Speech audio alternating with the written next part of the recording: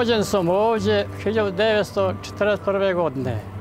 Ovdje sam proživio svoj životni vijek. E, borio sam se sa šumskom krločom divjači cijelo vrijeme, a na kraju je pobjedila.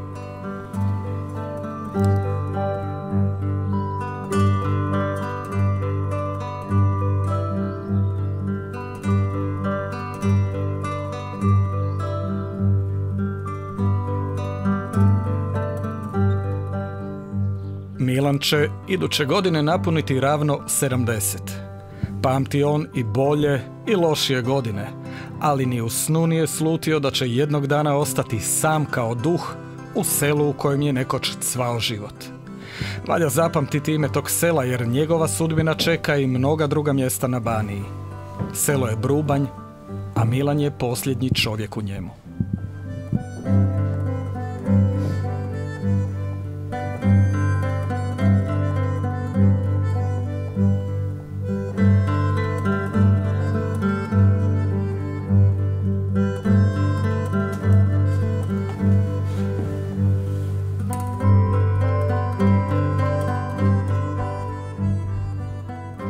Selo je napušteno u kolovozu mjesecu 95. godine, masovno.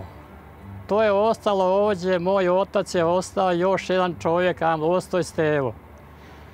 I jedna ženska ovdjeka je bila Radojka, ona sad u Glini. Njih troje ostali tu.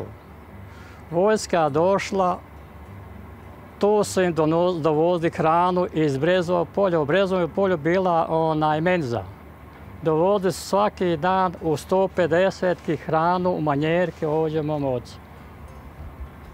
I uvijek kad priče djedevi, neš bi glada, veli, mi smo tu.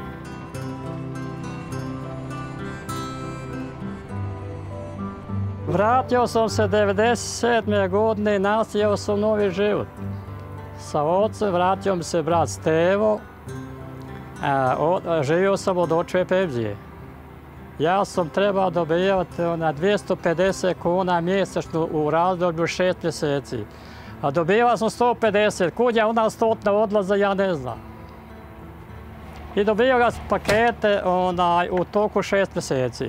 Kad sam vršio šest mjeseci, onda sam postao kao samostalna, snala se kako znaš.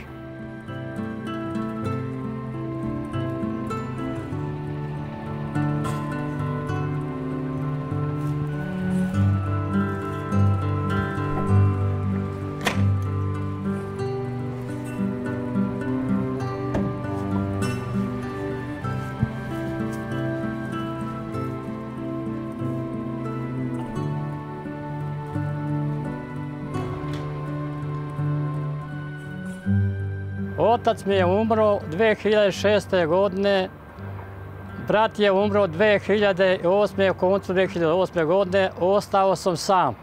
Sedam godina i osma nastala. Došlo je vrijeme januara mjesec 2009. godine naputio sam. U ulicu broje Bruban 10, to znači rodno mjesto, otišao sam za glinu. I tu sam nastavio svoj život. A bjedan život bio bez prevoza, bez naroda, bez električne struje, bez ničega. Evo, šta će, izdruža se.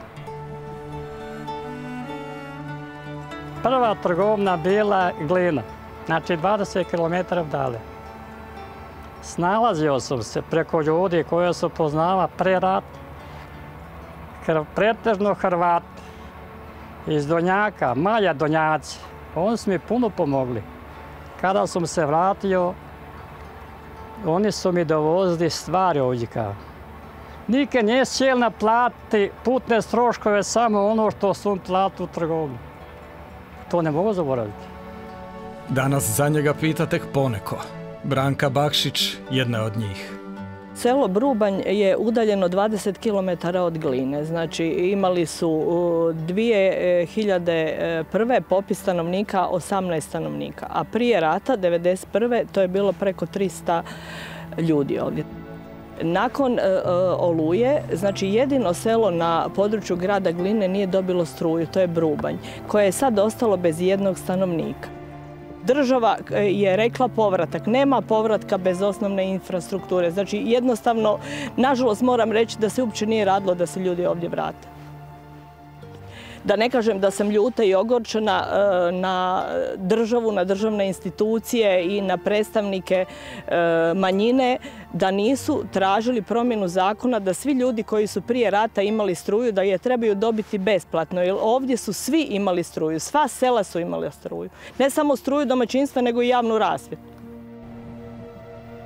ne traže ti ljudi puno. Ti ljudi traže put, e, traže struju i traže da e, taj nekakav javni prijevoz, bar dva put mjesečno da ima nekakav prijevoz da ih može odvesti kod doktora, da, ih da mogu nešto kupiti e, nekakvih živežnih namirnica što im je potrebno, a nemaju ni to. Znači, taksi su skupi, ja se po noći probudim i, i mislim uopće kako ti ljudi, pogotovo kad je snijeg. Mi smo imali lani spašavanje jedne žene i jedva smo je e, odvezli kod doktora, tu je bio i Crveni križ i UNHCR e, i na kraju žena je bila već podhlađena i za tjedan dana je umrla.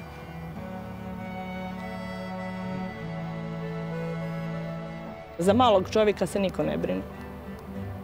I ovo, ja vam kažem, za par godina e, Banija, a sigurno i Kordun će biti bez jednog stanovnika, što se tiče dijelu srpskih sela.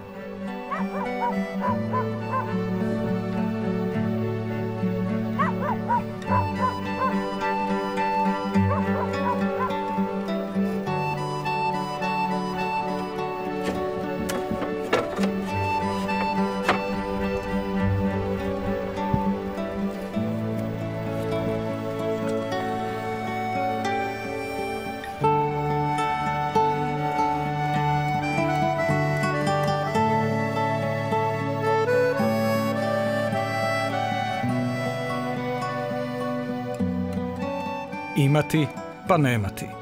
Milan zna kako je to. Živjeli se dobro. Narod je radio, bavio se poljoprivredom, imali smo stočarstvo veće, imali smo onaj tojilišta, ljudi se pretežno bavili sa tojilištom. Kooperacija Gavrilović. Bilo para, prodavalo se mlijeko. Mlijeko je bilo dosta skupo. Dizali su ljudi kredite, pravili objekte, kupali mehanizaciju i ostalo. Živilo se lijepo. Došao rat, rat je uzeo svoj, ko kuda. Imam dvoje djece, žive u dve države. Jedno Republika Hrvatska, a drugo Republika Srbija. Sastavimo se godišnje jedan put i to je to. Ja nema sad nikog prihoda, ima jedino ovo što primam ovo penzice. 1150 kuna. To mi je sve. Ja drugo, nikog, nikog drugog prihoda nema. Nikoga. Ja ovdje od ovoga manje nema ništa sada. Ne koristi se. I to to. Živim tuđoj kući. Odluku da napusti rodno selo ubrzala je pljačka kuće krajem 2008. Dok je bio u voćnjaku, nekoliko je maskiranih ušlo u kuću i počelo temeljito čistiti od svega vrijednoga. Posmatrao sam sve šta se radi, ali nisam reagovao. Zašto nisam reagovao? bojao sam se doći do problema veći nešto je bilo. Je mogla pasti u mrtva glava. Ne znam, oni su bili naoružani. Pljačkanje napuštenih srpskih kuća na Bani i Kordunu nije neka novost. Strah se uvukao u kosti i ono malo povratnika. Milan je provalu i krađu prijavio policiji. Tu je istraga i stala. Nike rezultata još do sada ja nisam dobio, a neću dobiti sigurno. Zašto? Zatim se ne traga. Jednostavno. Da se traga, on bi ušli trag.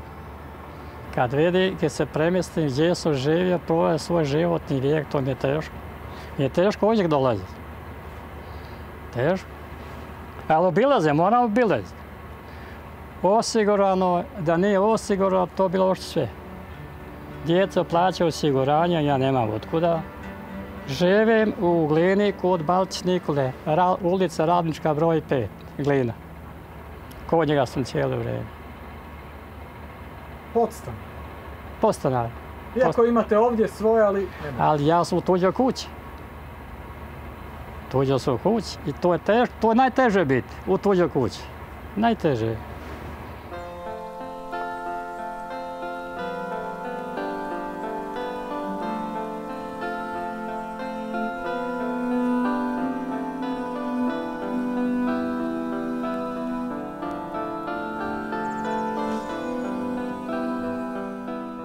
Od posljednjeg susreta s Milanom prošlo je godinu dana.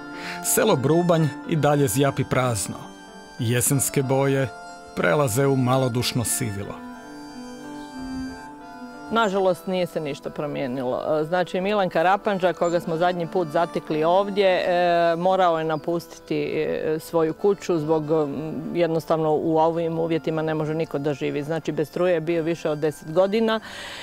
E, Nakon e, naše te reportaže nekakve i snimanja ja sam poslala zahtjev u Elektru e, da vidim da se uvrsti brubanj za priključak struje, to je za obnovu niskonaponske mreže. Odgovor sam dobila od Elektre da brubanj nije ušao u tu tu obnovu niskonaponske mreže i nažalost ovdje neće više biti ni jednog stanovnika. Gospodin Milan je živio u Glini, bio je podstanar, znači tu je bio jedno par godina i prije tri mjeseca je otišao sinu u Srbiju, jednostavno više nije mogao da živi u takvim uvjetima i vratio se. Vidio je da od struje nema ništa. Nakon kontakta sa mnom, ja sam rekla da jednostavno od struje više tu neće biti. On je otišao.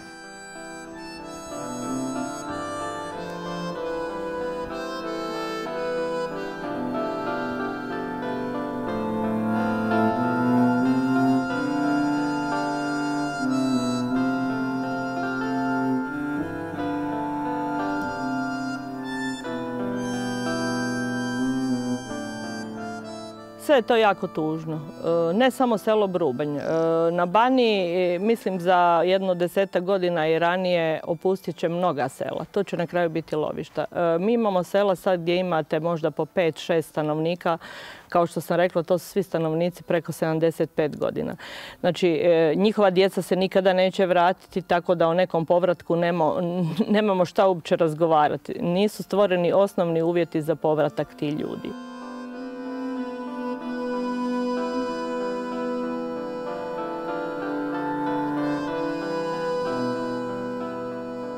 Živjeti bez života. To Milan ipak nije mogao. Bio je spreman na sve, ali ne i na ovakav završetak. Daleko od rodnog kraja i zavičaja. Jel vam opterećenje imati ovdje, znate imate zemlju, imate kuću, a ne možete ništa s tim. Imate neku želju, ne znam, možda prodati ili... Pa ja bi to želio, ali nema kome. Nema kom prodati, nema kupca. Kome da proda? To bi se moglo živjeti, a ko nema struje. Ko će to živjeti bez struje? A tu je više nik neće biti. Nikada. I nema se kome vod, kome su vod, nema stanovnika. Ja bio zadnji stanovnik ovdje u ovom pustom srpskom selu. Zadnji. A to sve drugo ostalo, daleko ranije. Ko je? Ko umro, ko živ? Da, tati.